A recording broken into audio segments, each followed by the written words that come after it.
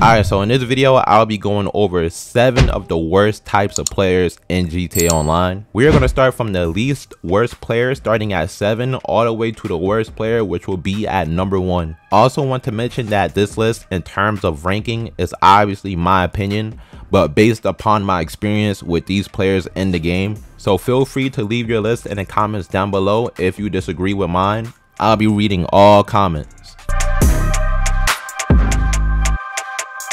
Alright, coming in at number 7, I'm to go with the Orbital Cannon. Players that use the Orbital Cannon should be canceled, bro. Like, I cannot stand anybody who uses the orbital cannon. Typically, the players that use the orbital cannon are players that are afraid to get killed, players that take the game very serious. There could be loads of reasons as to why players use the orbital cannon I'm not going to say that good players do not use the orbital cannon.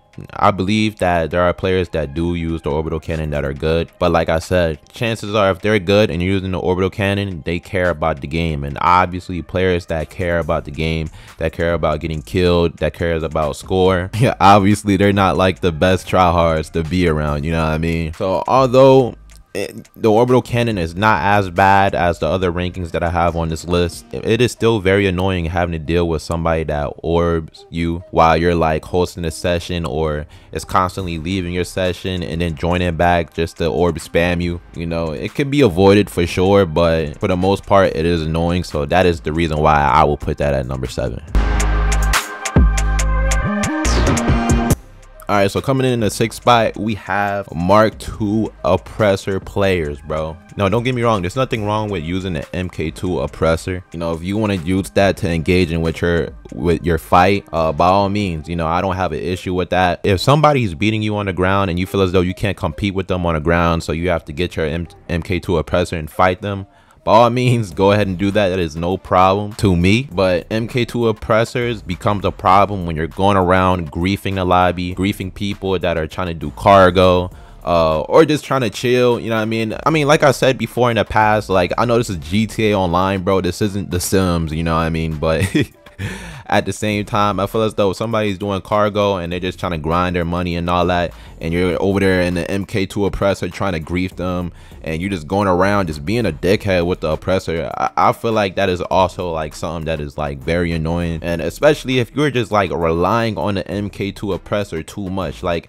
maybe if you're the type of try hard that don't even like to fight on the ground at all and you, all you can do is just fly around in the fucking mk2 oppressor like I, I i don't know bro like to me i do feel like that is like that is annoying to me bro like it's like you're a fucking fly just flying around my face like that annoying fly that is like you know what I mean? Like that's what you are when you're in a lobby, bro. You're that annoying fly that is going around. Like, you know what I mean? Like, I don't know. Me personally, I cannot take MK2 uh, oppressor players seriously, especially if they're griefing. It might not be as bad if they're not griefing because it's in the game and it's not the most OP thing. You, there's still ways to deal with it. If you're skilled enough, you could snipe them out the oppressor. You could grab oppressor of your own. You know, there's a lot of things you can do to counter people that are, you know, trying to fight you with MK2 oppressors. But I'm really talking specifically for the people that get in the oppressors and use it to grief. So that is my issue with players that grief with the MK2 oppressors, to be more specific.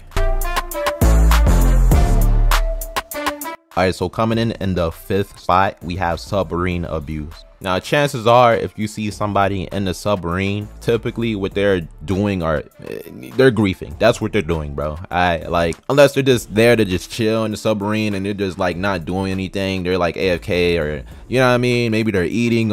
I'm not talking about players that just sit in the submarine and do nothing. I'm specifically talking about players that use the submarine to their advantage, maybe to grief somebody or to even fight somebody. I feel like that is the most like pussiest way to deal with somebody, bro. I've had many times where I was fighting somebody and I was actually whooping their ass on the ground. So they flew away from me, went into their submarine and tried to kill me while there was in the submarine with, with those missiles, bro. Y'all know what I'm talking about. Those, those little free aim missiles, bro. and it's like, bro, why?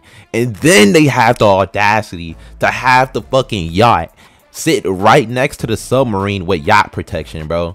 Like, bro, I ain't gonna lie. As this list goes on, I'm gonna try not to pull my hair out because even like explaining this shit to y'all, bro, and I'm sure a lot of y'all could feel my fucking pain, bro. It's just very annoying to deal with these players that are just so like, like they are so caring of dying and so caring of scores on this game, bro. So they have to resort to stuff like, they have to resort to stuff like this. Now, again, it's not the, the worst thing. It's for sure not the worst thing that a player could do. Hence, that's the reason why it is at number five. But it is for sure up there. Anybody that uses the submarine, it needs to get a life, bro. I ain't gonna lie to you, bro. Like, you need to get a life or just simply get better at the game, bro. It is not that serious, bro.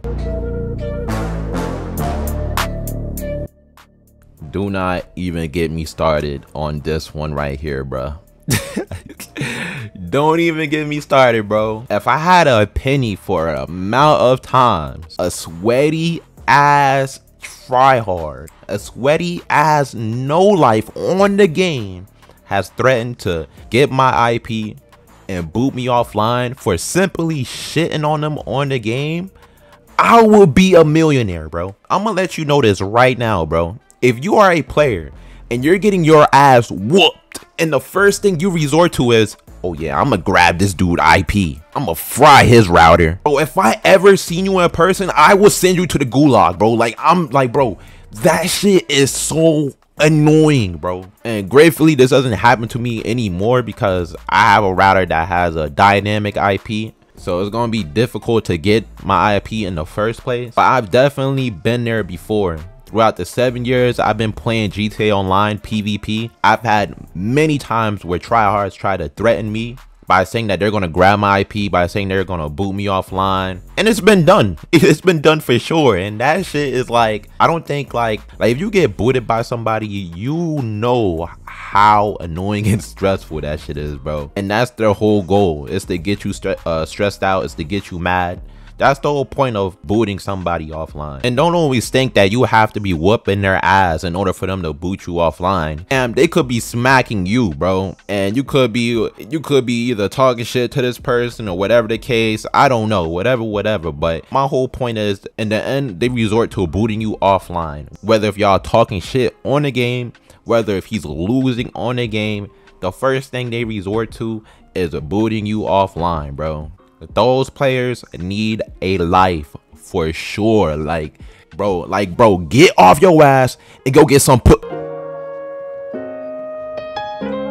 Alright, coming in at number three, we have 1-0 players. Till this day, I don't know if I should take them serious or if I shouldn't take them serious. The players that get one kill on you and act as if they done beat your ass 50 to 0 my guy, you got one kill, bro. You got one kill. like, how does that make you significantly better than me, bro? How? How does that make you better than anybody? This is the exact reason why I say I don't know if I should take them serious or not because I don't know if they're trolling, bro. I don't know if they're actually being dead ass serious, bro, or if they're trolling. That's how stupid this is, bro. It's the fact that there are players that are actually on the game for one owing people. There's a thing called one o they have a whole thing to where players are called 1-0 players, bro. You mean to tell me you have a title for yourself being a 1-0 player? Bro, this community, dog. Notice how we get more into the list. The game gets more and more unplayable when it comes down to PvP. You see this shit, right? And it's exactly why I had this shit set up like this, bro. But yes, obviously 1-0 players are players that do care about score and game. They care about the game in general. They care about losing on the game. They act as if their life is on the line when they play the game. They act as if GTA Online is real life. Like they got a real life in the game. They can't die one time. They have to kill people one time and that's it, bro. Like that shit is actually diabolical, bro. Like how the hell can you really sit there, kill somebody one time and flex it as if you don't whoop their ass by a thousand kills, bro? Those be the same tryhards that will get a knife kill on somebody and consider that a thousand and oh Who made that, bro? Who made that up? Yo, a lot of y'all probably don't even know about that, but people that get stab kills on somebody or pistol whip somebody, that would be considered a thousand and oh. Yes, bro. Yes, as stupid as that sound, that shit is whoever. I ain't gonna lie, whoever came up with that, bro. I don't know if you got dropped on your head when you was a baby, bro, but I'm concerned, bro. Alright, bro. I'm gonna try not to pull my hair out with this one, bro. I'm gonna really try my best to, bro. But coming in in second, we have off radar and passive players, bro. And hear me out when I explain this, bro. I don't have an issue with players that go off radar once in a blue moon. And I'm talking about in a fight, by the way. Now, if you're using off radar to get away from somebody, that is completely fine but players that go off radar and then go passive once their time is up from going off radar just to simply wait the time to come back off the radar. If you do this bro you have to be a school shoot my guy. Gta 5 online in 2024 was never that serious bro. The only time you fight is when you're off radar. Nobody can see you Nobody can see you at all, bro. And these also fall into the players that use the RC cars, bro. Because they are obviously off their radar as well. Alright, bro. So coming in at number one, bro. You guessed it. God mode.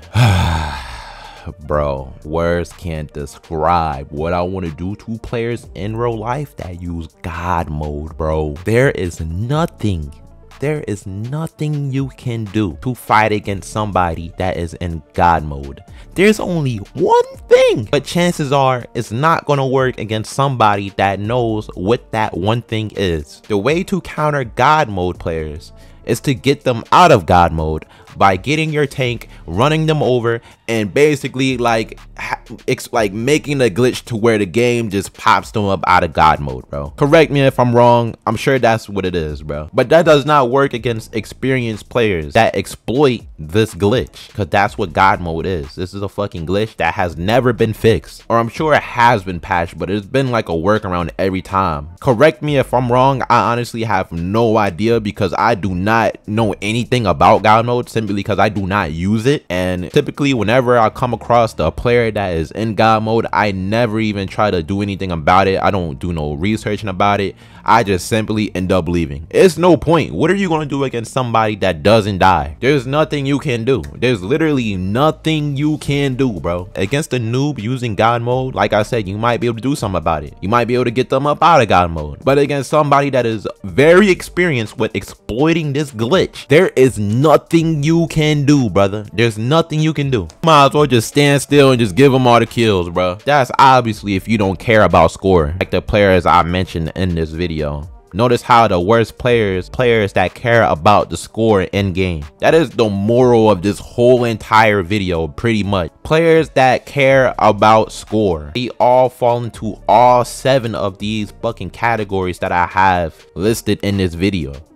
These are the worst players to deal with in GTA Online when it comes down to PvP. But alright y'all, that's gonna be the end of this video if y'all agreed with even one thing that I said, bruh, make sure y'all boys leave a like, or even if you disagree, bruh, same thing.